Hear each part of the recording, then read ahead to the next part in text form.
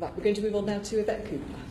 Prime Minister, I know that you do rightly care about the um, risks to Northern Ireland's security. You also care immensely about and know about the security risks to the country and the economic risks to the country if there is no deal. So knowing you for 20 years, I just don't believe that if your deal goes down, you are the kind of person who would contemplate taking this country into a no-deal situation. Am I wrong? The decision, it will be a decision for Parliament as to whether they accept the deal that I and the Government have negotiated on behalf of the, Euro the United Kingdom with the European Union. I believe that's a good deal. For I understand, the United and I don't want to go over those previous answers. My, my issue is, I don't believe you are the kind of person who could contemplate no deal, even if you don't get this deal. I don't think you'll do it. I think you'll take action to avert it. Am I wrong in my judgment about you? I'm, uh, well, I've had a number of questions now about what happens if.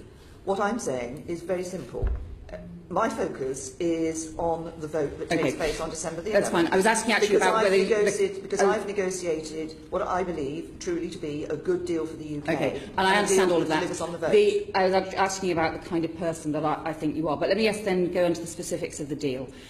Uh, can you confirm we don't have access agreed to the SIS2 database or the ECRIS database in the political declaration? We don't have uh, the SIS2 database and the ECRIS database specifically identified in the, um, in the uh, political declaration. And you pushed for those what we, as well? What we, what we do have is uh, reference to exchange of information on in, wanted or missing persons Sure. and objects and But of it's- criminal records, but which of course are what SIS2 and ECRIS covers. But you've tried to The get a specific reference. You have got reference to PRUM, you have got reference to PNR. So you've achieved some access to some specific things, but you haven't got access to those. But your security assessment assumes that you have. I mean, that is not being straight with people about the risks to security of what you've currently got in your political declaration and in your agreement. Well, the, but what the political declaration makes clear is that as part of the, the future negotiations, the nature of the access to those uh, uh, uh, on that data exchange will be part of the future uh, negotiations, but it is with a view to delivering capabilities that insofar as is technically and legally possible and considered necessary, and parties Okay. consider it necessary, and in both parties' interests. But it- but it doesn't say those by but this is, this is about whether or not we have the capability or whether or not we're in a specific... But you're, you're still measure. channeling around this. You haven't got agreement to it, and it is a risk. You know how important it is. Let me ask you specifically about borders and customs. When he says in paragraph 23, we're going to build and improve on the single customs territory, does that mean alignment to the common external tariff? No, because it goes on as uh, what it makes absolutely clear that it's in line with the party's objectives and principles above, which includes us being an independent, uh, able to have an independent trade policy. Okay, so if we don't have alignment to the common external tariff, why did you tell Parliament on Monday that we've got an agreement to no rules of origins checks? That is within the, uh, if you look within the uh, text of the political declaration, you will see the, uh, I'm just finding It's the, paragraph 23. What it says is, build and improve on the single customs territory provided for in the withdrawal agreement, which includes alignment to the common external tariff, which obviates the need for checks on rules of origin. So your co- reference to the checks for rules of origins is only in the context of the single customs territory, which includes the co- alignment to the common external tariff. No, the, the, uh, if you think back to that, it is wrong to assume that the only way to obviate the needs for rules of origin checks is for the United Kingdom to be uh, uh, only able to, ex- to apply the common external tariff. That is not the case. What's the other What- way?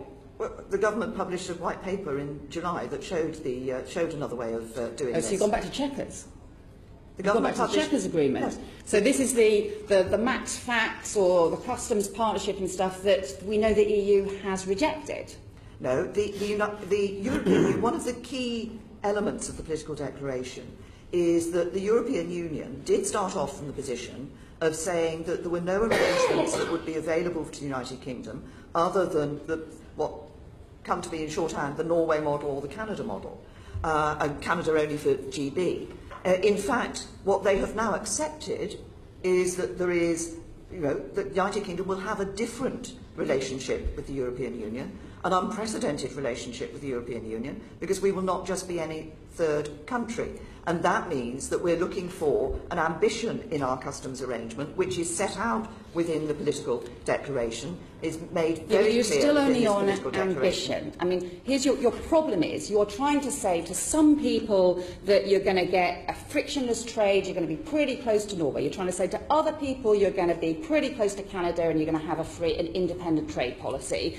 Actually, you haven't got agreement to any of those, and in your head you're just resting on figures and your uh, max facts thing that's already being rejected. So once again, you're just not being straight with people. And isn't your real problem here that because you haven't got agreement to any of this, because it is still a spectrum as your own documents say, actually you're really saying to people, trust me, I'll sort it out in the second phase, but because you're not being straight with people on any of these things, on SIS2, on whether or not we're going to be poorer, on whether or not we're going to have rules of origins checks, actually you're not able to build up that trust. Well, first of all, uh, you said that none of the what I had said was uh, had been agreed and was in the political declaration, including the fact that we will have an independent trade policy. It is specifically referenced in the political declaration. It was important for the United Kingdom that we've got that reference into the political declaration, that the European Union accepts that we will have an independent trade policy outside of the European Union.